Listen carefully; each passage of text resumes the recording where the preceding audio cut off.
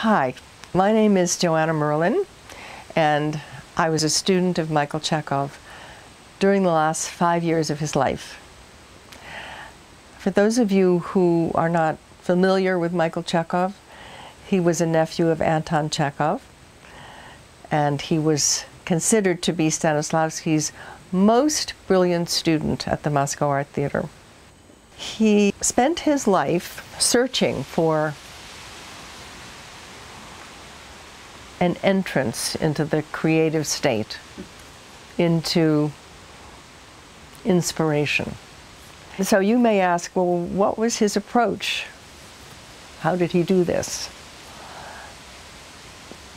He found ways to release our inhibitions, to free us, free us from uh, the limitations that we impose upon ourselves through the use of the body, full body movement, imagination, and uh, found a way to help us enlarge our own image of ourselves.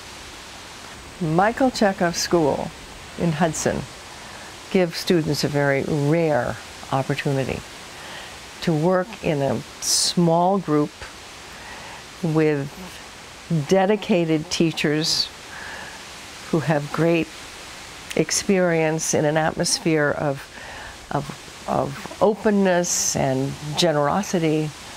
Um, and you'll be part of a community living together, eating together, working and creating together. And um, I think for those of you who are fortunate enough to be part of this little community, it will be um, it will be a great path to becoming an artist.